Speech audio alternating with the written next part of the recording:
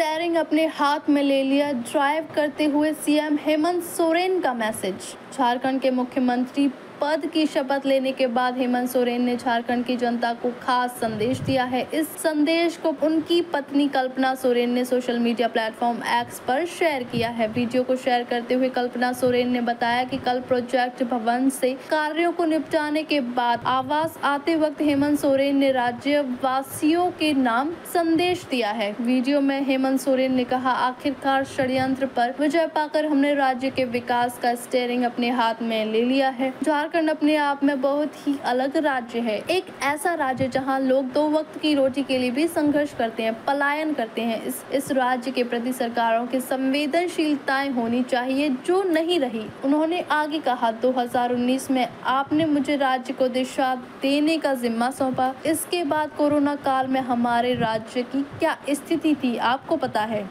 सीमित संसाधन, डॉक्टरों और दवाओं के घोर अभाव के बावजूद कोरोना काल में काम किया। उन्होंने कहा, मैं कई राजनीतिक अवरोध सरकार के सामने आते रहे। सरकार को गिराना, विधायकों की खरीद फरोख्त करना, गलत मुकदमे में फंसाना।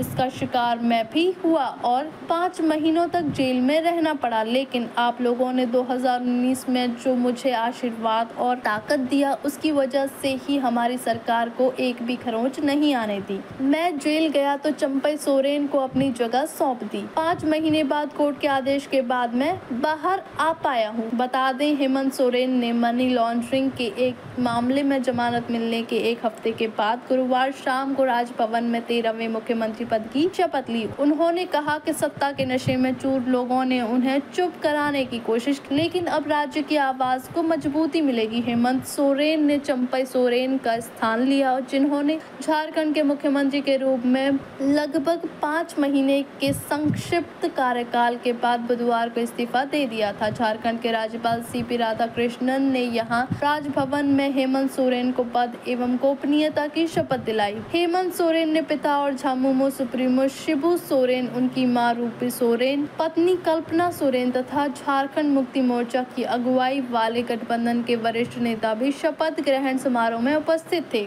चंपई सोरेन भी इस अवसर पर मौजूद थे। हेमंत सोरेन को झारखंड हाई कोर्ट कथित भूमि घोटाले से जुड़े धन शोधन मामले में जमानत दिए जाने के बाद 28 जून को जेल से रिहा कर दिया गया था। प्रवर्तन निदेशालय द्वारा 31 जनवरी को उनकी गिरफ्तारी से कुछ समय पहले ही उन्होंने मुख्य मुख्यमंत्री पद से इस्तीफा दे दिया था।